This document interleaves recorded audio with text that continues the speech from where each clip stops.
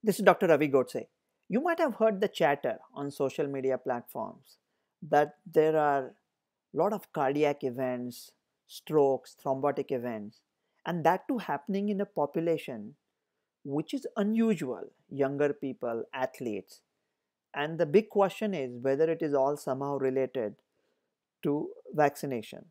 The short answer is no, but let's examine what kind of evidence do we have. There are two types of evidences. One is what comes by a big major scientific journal or study. If you do a PubMed search and ask this question, nothing jumps. Anecdotal evidence is generally the lowest form of evidence. But now in era of this pandemic, even the journals, what they were printing at time, it was like utter nonsense. Means at times it was irritatingly annoying, at times it was downright dangerous, whatever they were printing. And anecdotal evidence, it should not be dissed because it can be used very effectively at times. I used it myself during India's Omicron saga. When cases were going up and people were suddenly saying, oh my god, now we are going to see 80,000 hospital admissions and all that, and people were about to hit the panic button and start catching the beds, I'd recommended in one of the videos a simple anecdotal study. And I'd said, just stop the video, pick up the phone, call everybody you know, and see if you can find one person who's having trouble breathing or requiring oxygen.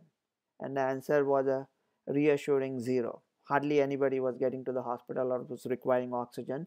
Omicron was mild, and that anecdotal evidence helped. And another way of anecdotal uh, evidence is say you hear that somebody's uncle took the vaccine and he got into trouble, and you are getting it forwarded from 50 groups. If you dig deeper, you might realize that it is just one person who had heard somebody that it happened to and he sent it to somebody and now all the 50 groups that are forwarding it to you just are mentioning one person. It is not 50 uncles it is just one uncle. Even one is too many but it appears little bigger than it actually is and there is also what we call as a psychological or institutional bias towards these stories we are saying that oh my god we never saw such stories before maybe we did but like three months ago, if you saw a story about Ukraine or Ukrainian president, who would have clicked on it? Now people are interested in Ukraine. So maybe before the pandemic, we were getting stories about this, but we were just, we had a blind eye, we were ignoring it. Now we are so hypersensitive and we are so acutely interested in all this that we are clicking on these stories and giving it more importance. This is a statistical bias. Now, Statistics, as you know, is used by scientists as a drunk uses a lamppost, more for support than for illumination. Statistics can be used to prove or disprove anything. If you look at vaccine causing cardiac inflammation, say in adolescent, can Moderna vaccine cause it? Absolutely yes. Most of those kids, almost all, all kids got better and got recovered completely from the myocardial inflammation in adolescence that was caused by Moderna. Maybe it happened because of the higher dose. If you look at that community, COVID can cause myocardial inflammation too. So, in any particular community at any given time during this pandemic, the chance of causing myocardial inflammation due to COVID was higher than that of chance of having myocarditis from the vaccine which is the science. But statistics cut both ways. Like Joseph Stalin used to say, 1 million people dying is statistics, one person dying is a tragedy.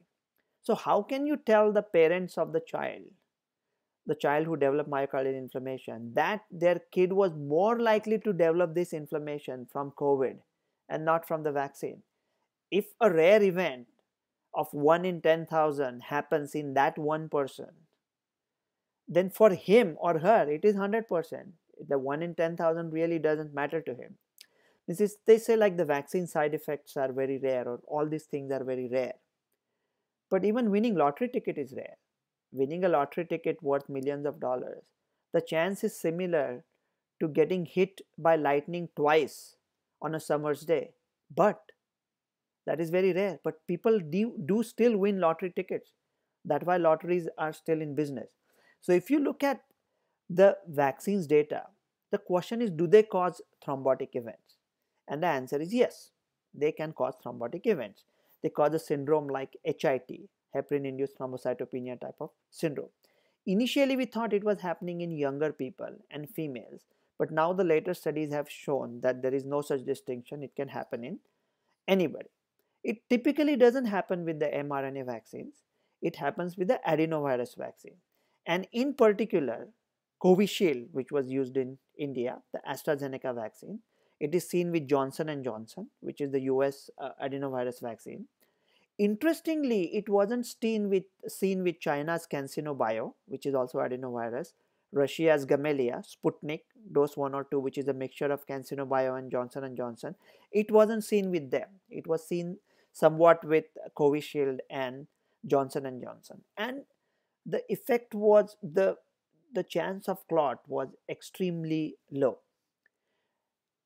In COVID can also cause clots. COVID can also cause cause thrombotic disease. So again, the chance of vaccine causing problem was so less and the chance of COVID causing clots was so much higher that it was no brainer to recommend a vaccine. It is changing little bit and we'll come to that. But this was a very small segment of thrombotic events. Now they have come up with a pretty big study and in vaccinated people they measured some inflammatory markers like that indicate the inflammation of the uh, epithelium or endothelium not epithelium endothelium. And they were looking at certain inflammatory markers and they said they appear to be high. I think this study is dangerous and this is a dangerous nonsense. And that brings us to the studies that they were doing during second wave in india. I can tell you one thing very simply by my clinical experience. There is no point in doing a study unless you know what you are going to do with the positive result. You're not like kids playing on the play, just let's just check and see what happens. No, this is wrong. Imagine like a patient who had had COVID, was recovering on its own, was fine and dandy, for no reason we would do like a D dimer and the IL-6 and the CRP, which we knew was going to be high. When the D dimer was high, you would be obligated to do a HRCT. Then the HRCT was going to show something because the patient gets better first, the X-ray gets better later. And then people were doing studies to see if the HRCT score has gotten better. I can't think of anything utterly idiotic or than doing a study, than repeating a HRCT to see if the score has gotten better. As a clinician, I can tell you the best barometer of how the patient is doing is talking to the patient. Means talking to the patient is not a big deal. Listening to the patient is where the wheels come off. Means I think we have forgotten the ancient art of listening. If a patient tells that he's having pain in the ear, before she or he is allowed to finish the story, like which ear, what, we just jump in and ask right ear, left ear, acute or chronic. We just we don't let anybody talk. We don't let anybody finish their sentence. So if we just listen to the patient, see how they're doing, all the studies were not needed. So similarly, doing these studies to see if there are inflammatory markers increased by the vaccines it's pointless. Now, why could there be so much cardiac disease? There are two obvious answers. One is, what are the risk factors for the heart disease or like thrombotic events or atherosclerosis? Hypertension, diabetes, smoking, age, and the most important, stress. Do you think people were stressed in past two years? This might have been the most stressful experience for most of us. So could that have contributed to the increased cardiac disease?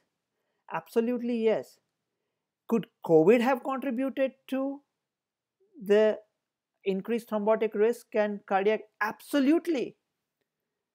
Directly and indirectly, COVID was a thrombogenic state and there were millions of cases and millions of hidden cases that was causing thrombogenic that could have been responsible for that And indirectly, a person who was having issues with the heart might have chosen to stay at home rather than going to the hospital to protect themselves from COVID and in the meantime getting in trouble with heart disease. So now things are getting little tricky. And the reason for that trickiness is suppose a vaccine causes a very minimal thrombotic effect. And you say, well, you know, if you get COVID, you can get a lot of thrombosis and vaccine will protect you. So it's safer to take the vaccine, the risk benefit ratio. Previously, during the heydays of the vaccines, when they first came around December 2020, Pfizer, Moderna, etc., were more than 90% effective in preventing mild COVID. So you are telling the patient, in effect, that you have a very small risk of thrombosis, which was not seen with the mRNA vaccines. You have a very small risk of a problem, but you also have a huge risk of a thrombotic problem with COVID, and you are saved from that. So the risk benefit ratio is always in your favor. The benefits are much higher. Now, the vaccine's protection has dipped from 90% to almost 30%. So the chance of COVID is now 60% higher and with that comes the chance of thrombosis. So the risk have not increased but the benefit has shrunk. But there is another side to it. Most of the thrombotic side effects and complications of COVID are seen in people who were seriously ill with COVID and vaccines continue to protect against serious disease. So that risk benefit ratio is still maintained by the vaccines. It is still safe to take the vaccine and people should continue to vaccinate and take the booster dose. But we are we are not taking this lightly. We are people of science. So if the second booster or the fourth dose that United States is recommending, it is on a pretty shaky ground. The data is not solid. So we are waiting. And rather than using the same vaccine which was devised two years ago. Maybe it is time to change the formula and tailor it more to Omicron and BA2 and then offer the booster like you offer the changed flu booster. So we don't always blindly support the vaccines. We question it. I'm not planning to take the second booster or the fourth shot yet till it is made compulsory by the place where I work at. I'm going to follow the science. I'm going to follow the guidelines by my local government. There's a saying in Latin, it says, Quis quis custodiet ipsos custodes. That means who guards the guards? Who guards us from the doctors, from the pharma industry, from politicians, from this and that? And the basic question that cuts to the cuts to the chase is who guards us from ourselves in this time of disinformation and like just the social media overload. So to answer the question simply, yes there are increased thrombotic events. Yes there are increased cardiac events. It could have happened because of covid. It could have happened because of stress. It could have happened because of the combination. Vaccine can cause a very small thrombotic risk but it does not appear related to that.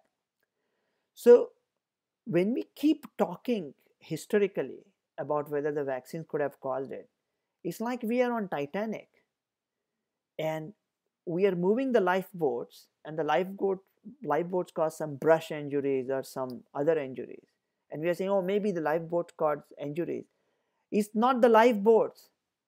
It's the damn iceberg that's hurtling towards you scraping the dark deep dreary desolate bottom of atlantic and that iceberg is your problem luckily the countries that matter to me the most united states and india have met this iceberg and equaled it. There are a lot of natural disease and vaccine. Both the countries should do okay now. Nothing to worry about. But we are men of science. So we will take everything seriously and keep looking at it. Dr. Ravi Godse.